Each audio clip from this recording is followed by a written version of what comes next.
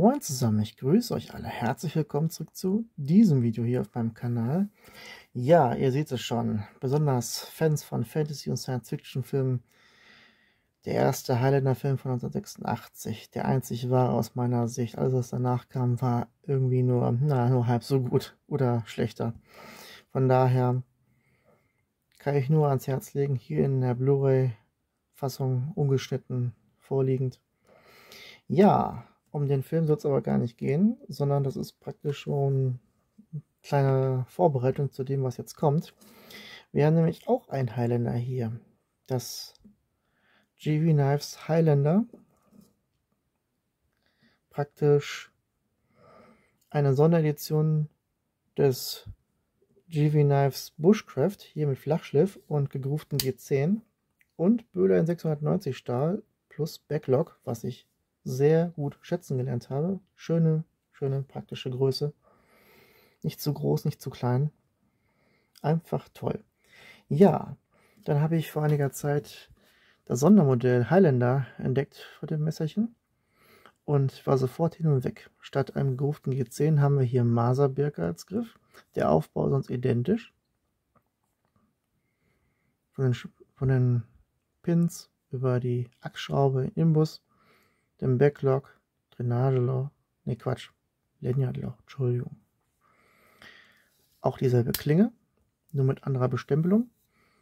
Auch der Stahl hier, der Böhler N690 Stahl, also für die, die ihn nicht kennen, praktisch ein 440C plus Kobalt. Steht hier dran, N690CO. Hier der Hellener Sonderstempel aus Spanien, da die Gravur der Firma, wo es herkommt. Im Prinzip werden die Messer aber alle bei, meistens bei Nieto äh, gebaut. Das ist praktisch ein Nieto Centauro in unterschiedlichen Variationen. Aber das tut der Liebe keinen Abbruch. Die Dinger sind einfach gut. Der Flachschliff ist bei beiden Messern beim einen wie bei dem auch äh, sehr dünn ausgefallen. Zwischen ja faktisch 0,35 und 0,45 hinter der Schneidphase ist das recht ordentlich gelungen. Das Jimping ist ein bisschen, ja, es ist nicht zu aggressiv und auch nicht zu schwach. Es wird schon seinen Dienst tun, hätte aber nicht sein gemusst. Aber die Spanier gingen hier auf Nummer sicher. Jo. Geliefert wird das Cylinder genau wie das Bushcraft in dieser Nylon-Pouch, sag ich mal. Kann man am Gürtel befestigen. Auch mit Druckknopf. Hier mit Clip und Klettverschluss. Doppelte Absicherung. Man weiß ja sonst nie, ob es rausfällt. Da gingen die Spanier wirklich auf Nummer sicher. In Leder hätte ich es besser gefunden, aber hey, die Nylon Pouch tut es auf jeden Fall auch. Ist auf jeden Fall baugleich mit, die, mit der vom hier vom Bushcraft. Ein dasselbe Ding. Ja. Machen wir nochmal einen kurzen, kurzen Test, was die Maße betrifft. So. Schauen wir mal.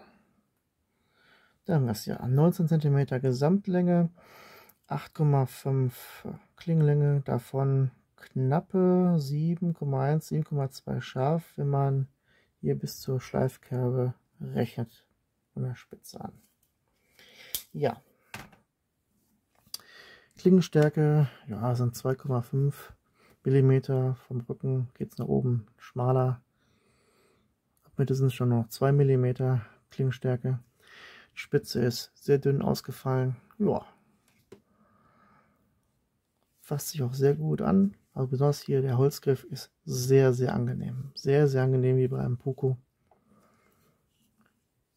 Die Griffschalenholz sind natürlich ein wenig dicker ausgefallen als beim gegrooften G10, wie man sieht. Fasst sich halt auch gut an, aber anders halt. Jo. Ich würde sagen, dann arbeiten wir mal ein bisschen. Fangen wir mal mit dem Buschkraft an. Jo. Das geht gut durch. Der Flachschliff lässt hier sehr gute Arbeit. Spanier können es halt, was das betrifft. Ich denke, da muss man nicht viel zu sagen. Das ist das Bushcraft. Jetzt kommen wir zu dem Namensgeber des Videos, dem Highlander. Ja.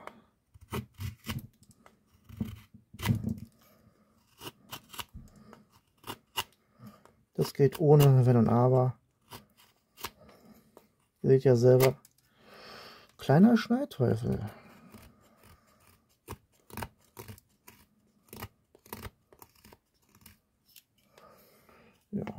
Da kann man auch ein paar nette Löckchen machen mit. Und zieht auch gut durch. Klingrücken auch scharf genug für einen Firesteel, zumindest beim Highlander.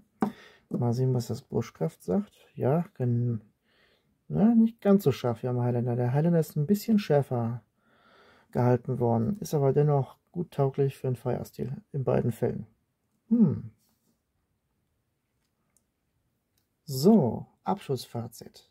Empfehlenswert auf alle Fälle. Das eine wie das andere. Ja, Themen nach Geschmack. Wer G10 will, soll G10 nehmen. Wer Holz nehmen will, der soll Holz nehmen. Sind beides ordentlich gut verarbeitete Messerchen. Liegen bombig gut in der Hand. Sind beide so im Rahmen, so, was war es noch, ich glaube zwischen 50 und 65 Euro zu bekommen im Netz. Guter Preis für zwei ordentliche gemachte Folder, sag ich mal, mit Backlog und natürlich einem Böhler N690 Stahl. Das darf man nicht vergessen.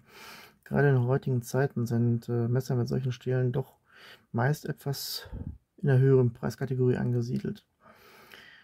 Nun denn, so viel zu dem GV Knives Highlander und seinem Bruder, dem Bushcraft, als Vergleich.